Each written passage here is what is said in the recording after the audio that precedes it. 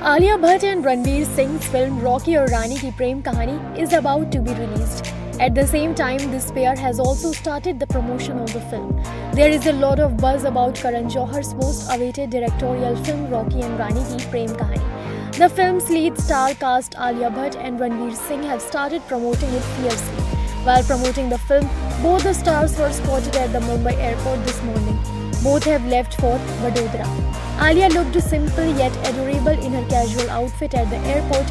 Actress wore minimal makeup and her hair was tied in a tight ponytail. She completed her look with a stunning black bag. During this, Alia also clicked pictures fiercely for the paps. During this, Ranveer Singh reached the airport in his Lamborghini. Actor was seen in a very stylish avatar at the airport. He carried black denim trendy half jacket, t-shirt and stylish sneakers. Ranveer and Alia have been seen together in film Gully Boy before. At the same time, the romantic drama film Rocky Aur Rani's love story of this pair will be released in theaters on July 28.